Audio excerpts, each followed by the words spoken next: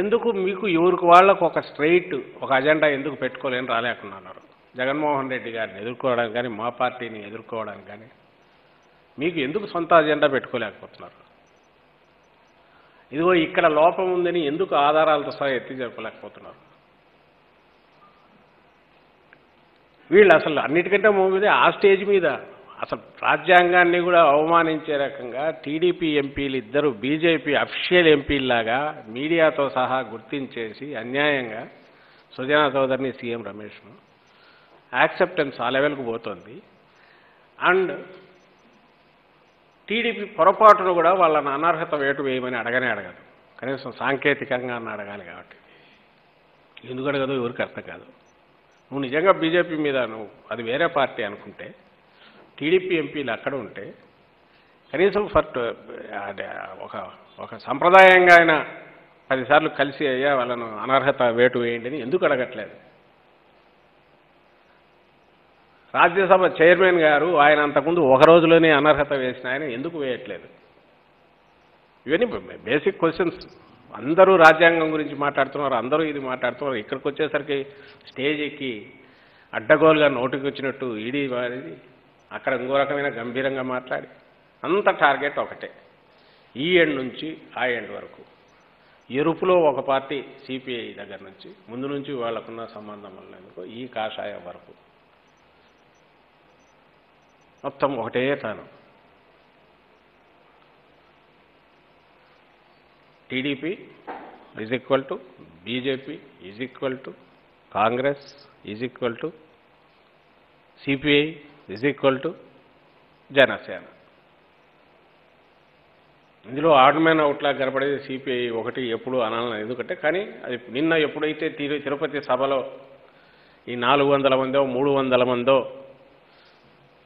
వంద కోట్లు ఎంతో వసూలు చేసి పాదయాత్ర పేరుతో రోజుకు రెండు కిలోమీటర్లు వెళ్తూ దేవస్థానం నుంచి న్యాయ సారీ న్యాయస్థానం నుంచి దేవస్థానం అని అక్కడ పోయి ఆ స్టేజ్ మీద వీళ్ళందరూ కలిసినప్పుడు చూస్తే ఓ పర్ఫెక్ట్ పిక్చర్.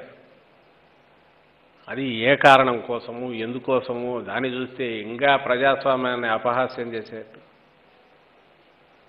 మొత్తం అందరూ కలిసి ఒకటే స్టాంపు జగన్మోహన్ రెడ్డి పాలన రాష్ట్ర రాక్షస పాలన ప్రజాస్వామ్యం లేదు వరుసపెట్టి స్లోగన్లు ఏమి లేదు ఎక్కడ పోయింది ఎక్కడ మీరు అంటున్న దాంట్లో వీసమంత సమంత నిజం ఉంటే వీటితో చూపండి. అని అంటే ఎక్కడా చూపడానికి లేదు.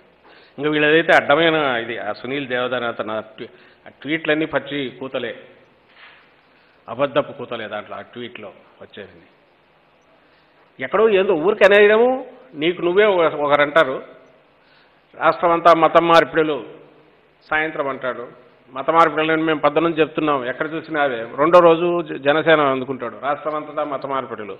మధ్యాహ్నానికి సిపిఐ రామకృష్ణ ఆయన ఓటిస్తాడు. ఒక్కో రోజు ఒక పాత్ర మారచ్చు. ఈయన వస్తాడు ఈయన వస్తాడు రెండు మూడు రోజులు అయ్యేసరికి ఈ మొత్తం తానులో ఉండే వీళ్ళంతా పాపం ఇంతకుముందు చలసాని శ్రీనివాస్ ఇలాంటి వాళ్ళు పోషించేవాళ్ళు. ఎవరు ఆ గరుడ వ్యూహం అనే శివాజీ ఆర్టిస్ట్ ఇట్లాంటి ఇప్పుడు దాటిపోయింది. ఆ స్టేజ్లో ఇండివిజువల్స్ పోయినారు. ఇప్పుడు పార్టీలే ఆ రోల్ ప్లే చేస్తున్నాయి. అప్పుడు తయారు చేసుకుని ఒక ఇండివిజువల్స్ని పెట్టిన తెలుగుదేశం పార్టీ చంద్రబాబు నాయుడు గారు ఇప్పుడు సక్సెస్ఫుల్గా పార్టీలనే తన ఫింగర్ టిప్స్ మీద వేళ్ళ మీద వేసి తోలుబొమ్మలాట ఆడించగలుగుతున్నాడు. ఆయన ఏదనుకుంటే ఆ స్టేట్మెంట్ మూడు రోజులు వరుసగా వస్తే ఆంధ్రజ్యోతి టీవీ ఫైవ్ ఈనాడు బ్రహ్మాండమైన బ్యానర్లు వస్తాయి. వాటిని పెద్ద పెద్ద వచ్చేసరికి మూడో రోజు చదివేవాడికి ఇంతమంది అంటున్నారంటే ఏదో ఒకటి లేకని అందులో అందరూ పెద్ద పార్టీల వాళ్ళు. ఈ ఎండ్ నుంచి స్పెక్ట్రమ్ ఆ ఎండ్ వరకు. ఆధారం చూప? ఒక్కటి కనపడదు.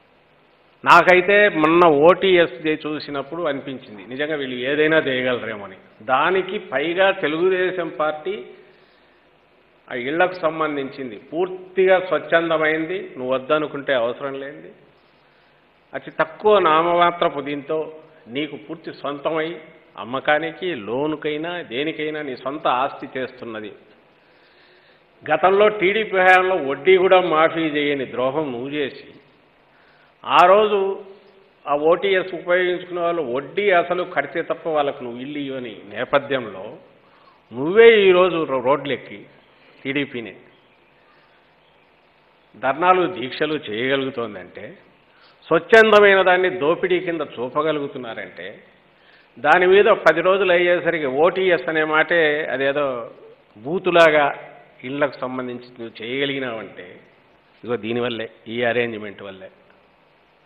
పది తలల రావణాసురుడిలాగా చంద్రబాబు ఉంటే ఇప్పుడు మనం లెక్కబెట్టిన నాలుగో ఐదో ఇంకా కనపడని వీళ్ళందరూ ఆ వెనక్కు పోతారనుకుంటా. మిగిలిన ఇండివిజువల్ శక్తులు ఉంటే వాళ్ళు. వీటిని వీటిని మొత్తం తీసుకొని వండి వారిచే ఆ రెండు మూడు ఛానళ్ళు ఆ పత్రిక ఒకటి. రెండు పత్రికలు. ఇంతగా ఎందుకు చెప్పాల్సి వస్తుందంటే ఇది ఏదన్నా ఇష్యూ చూసుకోండి. బీట్ ఇంగ్లీష్ మీడియం రాజధాని కావచ్చు ఇప్పుడు నేను ఇంతకుముందు అన్న ఓటీఎస్ కావచ్చు సినిమా టికెట్లు కావచ్చు ఉద్యోగ సంఘాలతో డీల్ చేసే పద్ధతిలో కావచ్చు. తప్పకుండా ప్రజా ప్ర- ప్రతిపక్షాలు అనేవి ఎత్తి చూపాలి వీటిలో ఏదైనా. అసలు ఏదైనా నువ్వు ఒక అంశం తీసుకొని నువ్వు దాన్ని నువ్వు ఇదిగో ఇక్కడ ఇక్కడ మీది పొరపాటు జరిగింది మేమైతే ఇట్లా చేసేవాళ్ళం. చెప్పు ఏదో ఒకటి. వేగ్గా కాదు. అప్పులు. నూట ముప్పై ఐదు లక్షల కోట్ల అప్పు చేసిన కేంద్ర ప్రభుత్వంలో ఉన్న బీజేపీ ఈ నాయకులు వచ్చి నూట ముప్పై ఐదు లక్షల కోట్లు. అంటే నూట ముప్పై ఐదు కోట్లకు ఒక్కొక్కరికి లక్ష వస్తుందా? అంతేనేమో నాకు తెలియదు పది లక్షలు వస్తుంది అంతే లేదు. ఆ లెక్కన అంత బరువు వేసినారు ఇది ఒక ఐదేళ్ళ క్రితం డెబ్బై లక్షల కోట్లు అంటే డబుల్ అయింది ఇప్పుడు. నువ్వు వచ్చి ఇక్కడికి వచ్చి నువ్వు ఒళ్ళంతా నువ్వు ఇదిగా ఉన్నావు ఇక్కడ వచ్చి ఆయన చిరుగు వెతకాలని నువ్వు ప్రయత్నం చేస్తావు. మరి ఆ లెక్కనైతే ఆరు లక్షల కోట్లు కరెక్టే కదా? నూట ముప్పై ఐదు లక్షల కోట్లు నువ్వు అన్నావు. ఆ నువ్వు చేసిన అప్పు. అందులో మా ఆంధ్రప్రదేశ్ కూడా ఇండియాలో ఉంది మీరు ఒప్పుకుంటే. ఇందులో ఉన్న ఐదు కోట్ల ఆరు కోట్ల లక్ష అనేది మీ మీ మీరు చేసిన పుణ్యమైన ఎందుకు ఎందుకు అనుకోరు? అసలు దేనికైనా కొంచెం సిగ్గు ఏదైనా మాట్లాడేటప్పుడు ఇది ఆలోచిస్తే అవతలోడు పాయింట్ అవుట్ చేస్తాడు. ఒకవేళ నేను ఇట్లంటే మూడు వేలు నీ వైపు చూపుతాయి. అనేది ఉండాలిగా.